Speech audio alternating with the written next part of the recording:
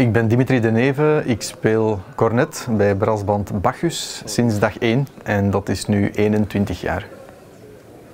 Elk jaar moeten we een opgelegd werk uh, spelen en ook een keuzewerk. En we moeten daar toch een aantal maanden mee aan de slag gaan.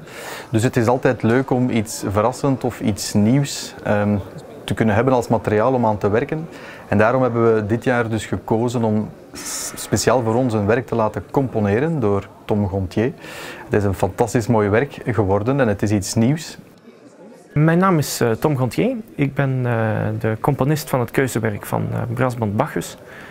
onder leiding van Bart van Eigem. Het is eigenlijk een samenwerking die ontstaan is, ja, ik denk zo een tweetal jaar geleden. een half jaar geleden zoiets. Ehm, en dan werd er gevraagd van, kijk Tom, heb je een zin om iets te schrijven voor de band? En dan heb ik daar ja, getracht iets te schrijven op, uh, op hun maat.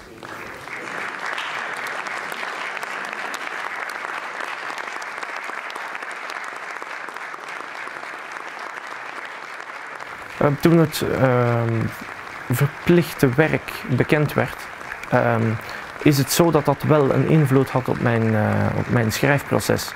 Uh, naar het keuzewerk toe. Want het is toch de bedoeling dat een band in zijn plichtwerk en keuzewerk de verschillende aspecten van het brassbandspelen naar voren brengt. En, uh, en ja, dat, dat moet toch mooi op elkaar aansluiten, vind ik.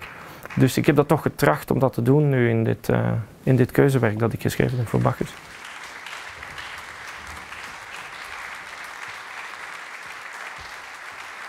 Ja, het is, het is toch erg spannend wel voor mij um, om, uh, om dit stuk nu voor de eerste keer te horen. Want het is toch iets, je schrijft een stuk, je geeft het dan aan de band en zij interpreteren de muziek. Dus ja, het is toch het is, het is leuk. Het is een samenwerking en het is, het is erg leuk. Ja. Net voor we het podium moeten opgaan zijn alle muzikanten sowieso wel wat nerveus. Het Belgisch kampioenschap blijft een speciale sfeer hebben. Het lijkt dat niets anders op de wereld plots belangrijk is en iedereen wil vandaag super presteren, ook al moeten we maandag gewoon allemaal terug aan de slag. Eens ik op het podium zit, uh, vergeet ik al die stress en dan is het gewoon knallen.